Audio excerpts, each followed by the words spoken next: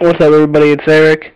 Um, I'm I'm not gonna play right now. I'm just gonna let you guys know that I am streaming live on UStream. There'll be a link to it in the description. Hopefully, you guys come and watch. Bye.